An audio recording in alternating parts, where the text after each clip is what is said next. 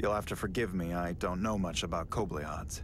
But my understanding is you need a steady supply of Deuridium to keep your cell structure stabilized, or bad things start to happen. And we have plenty of Deuridium in sickbay, so there's no risk of running out. Thank you. Feel free to make yourself at home. And help yourself to whatever you like from the replicator.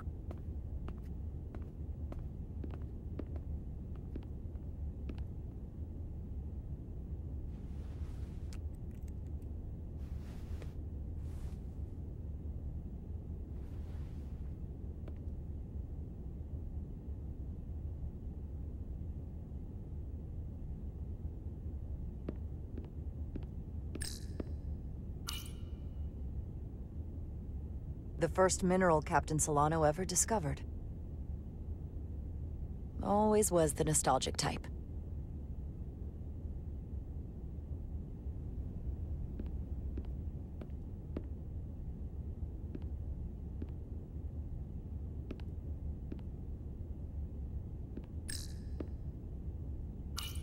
Just a sip of something. Coffee.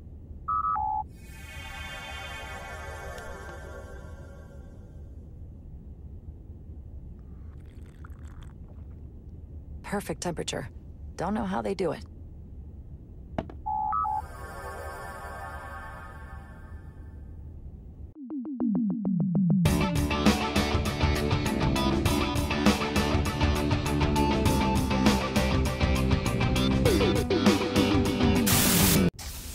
Jara Rydek.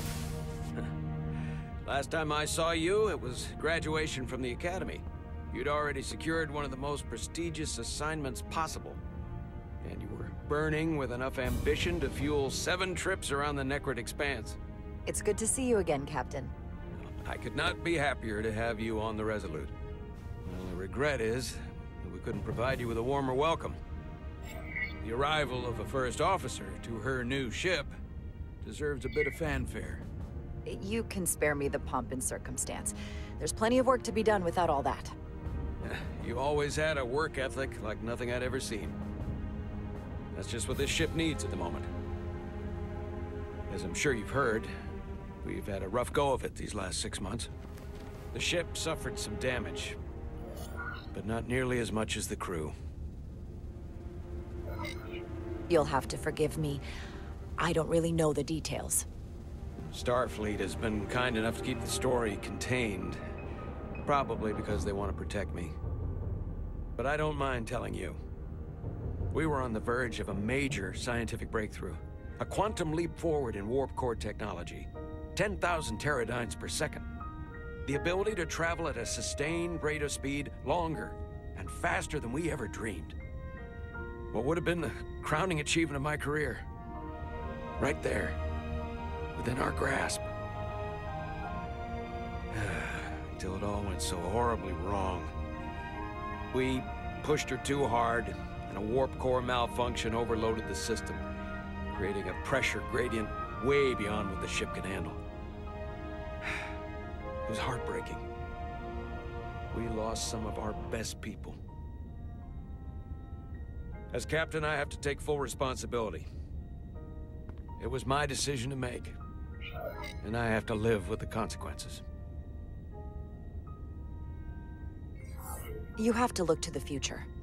You can't dwell on the past, on things you can't change. There's nothing that can be done about it now. In my defense, I will say, I might have avoided the whole ordeal if my senior staff had been willing to trust me.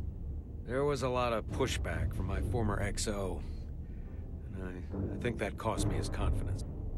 I don't want you to pull any punches. Certainly not on my account. But once we decide on a course of action, I need everyone to fully commit to the mission. Anything short of that just won't work. And that's when things start to go sideways. Whether I agree or disagree, I can promise that I'll be honest to a fault. Good. That's exactly what I'm looking for. But at the end of the day, it has to be my call. Look, I'll be blunt. We can't afford another mistake. Or at least, I can't. I feel like my career is hanging in the balance here. We need a win. Something to restore the crew's confidence. I understand. On a more positive note, Starfleet has tasked us with what they're calling a mission of the highest priority. Escorting a senior diplomat to Hotari space. Two previously peaceful and otherwise non-aggressive civilizations now find themselves on the brink of all-out war. So it's a peacekeeping mission. I see it as a golden opportunity to not only prove what the Resolute and her crew are truly capable of, but also a mission for which we're uniquely qualified. This ionic storm. Our long-range sensors suggest it's several orders of magnitude stronger than anything on record. A total anomaly like nothing we've seen before. And you'll never guess where it leads. Hotari. Exactly. Very nearly in the precise location where we're headed. Where I imagine the interference will be exponentially greater. But the diplomat will brief us on the details of the rendezvous. Who is the senior diplomat we're escorting? That I don't know. Starfleet hasn't said. But I don't want to get ahead of myself. I expect we'll have some rough sledding when we arrive, so I need you to prepare the crew for the worst. There's just one more thing I want to clarify up front. The metric that for me will be the ultimate measure of your success. What is it? If after serving as my first officer, you don't one day find yourself with a ship of your own, then I will consider it my personal failure. When that might happen is entirely up to you. But it goes without saying, you have my full support. Thank you. But I feel like I still have so much to learn. You'll have plenty of opportunity. And if you're willing to put in the work, I'll do everything in my power to help you along the way. Come, let me introduce you to the crew.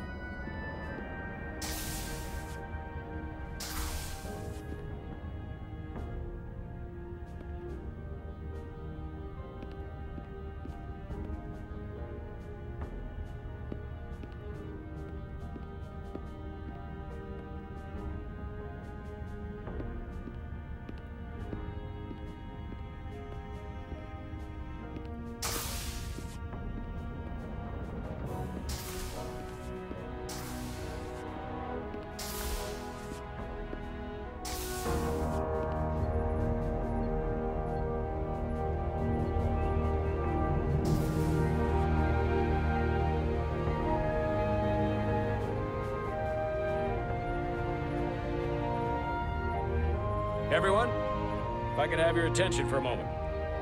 I'd like to introduce Commander Jara Rydek, our new first officer. Some quick introductions. This is Lieutenant Handar, our helmsman, one of the best in the business. One of? Well, what he lacks in humility, he more than makes up for in ability. A pleasure to meet you, Commander. Likewise. Next, we have Commander Westbrook, our Chief Science Officer.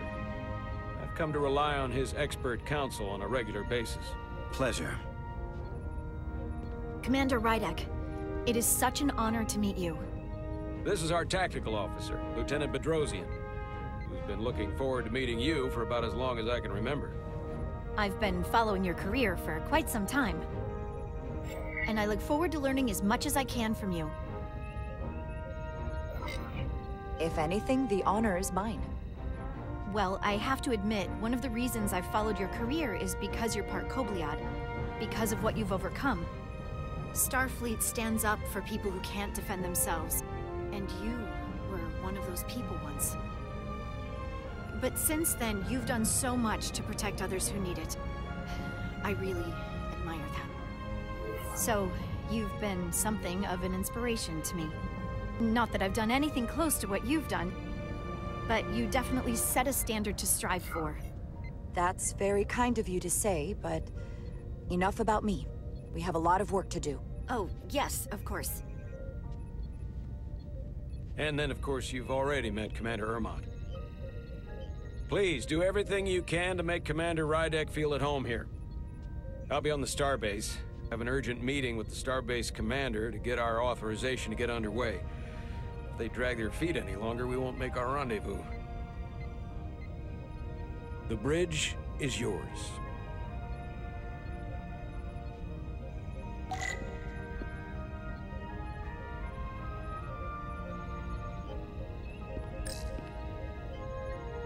Operations. Staffing, supplies. There's a lot to keep track of on a starship. Good thing we have Commander Ermont.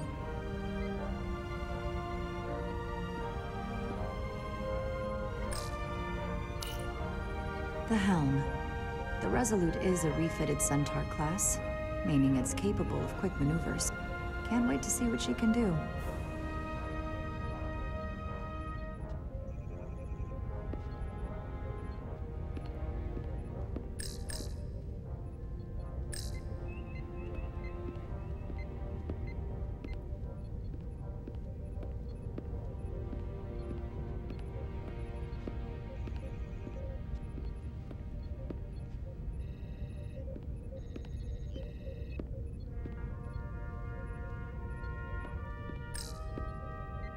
Science station. The Resolute is a science vessel, primarily. Might explain Commander Westbrook's attitude. I'll have to speak with him later.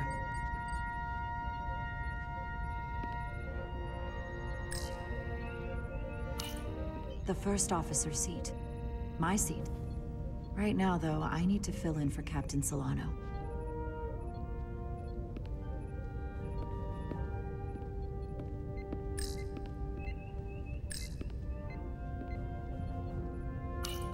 Tactical station. Hopefully, a diplomatic mission won't require we use our weapons much. But if it comes to that, we'll be ready.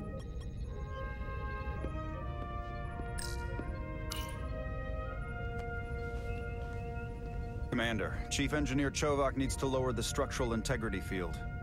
He's sent a crew out to recalibrate the emitters in response to the danger posed by the storm. We just need your go-ahead. Permission granted. Lowering structural integrity field, now. Entering maintenance mode. Condition blue.